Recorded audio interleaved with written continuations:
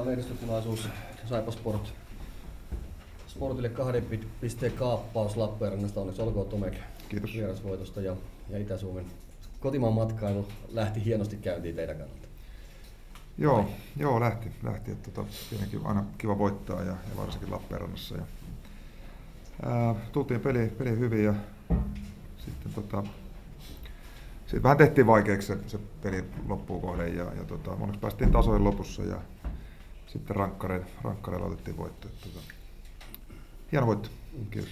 Tota, oli ottamassa tuossa kyltsiä tonne, tonne briefeihin ja tota, joukkue lähti alkulämmittelyyn ja tuli kopista lauleskelle. Siis siinä on ihan oikeasti konkreettisesti laulaja, mutta nyt on aika vapautunut tunnelma. Tuntuuko se tuolla kopissa, että siellä on niin hyvä fiilis ja vapautunut tunnelma? On, en mä tiedä vapautunut tunnelma. Totta kai, kun voitot kiertää ja, ja pelaa hyvin ja sit se ei riitä, niin tota, ää, ei se välttämättä vapautunut, mutta meillä on hyvä, hyvä fiilis ollut ja ilmapiiri ja, ja ennen kaikkea me tehdään päivittäin hyvin töitä ja mikä mahdollista, että me pystytään pelaamaan hyvin ja, ja tota, sitä kautta tänään pystyttiin voittamaan.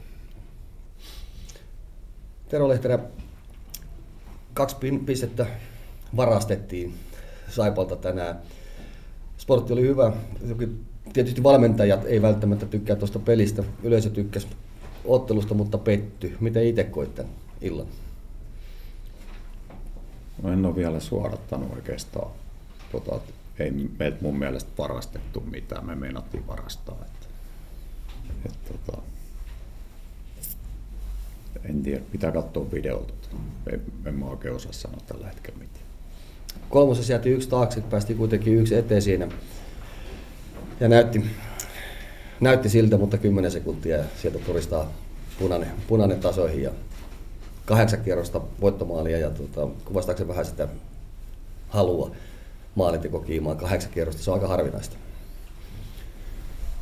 Niin, en, niin kuin sanottu, että en, en osaa nyt sanoa, että, että, että päällimmäisenä on tällä hetkellä, vaan mä suorantaan tämä itse, kun tämä menee jokin Facebookiin, niin piip.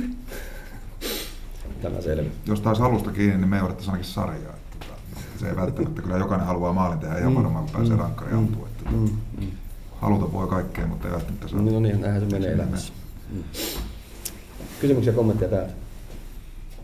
Jos ei mitään, niin kiitoksia. Hyvää illan jatkoa ja hyvää Kiitos. kevättä tässä. Kiitos.